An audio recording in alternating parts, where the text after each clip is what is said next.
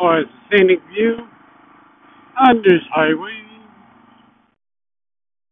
Has a house probably 10 million where it's located right there.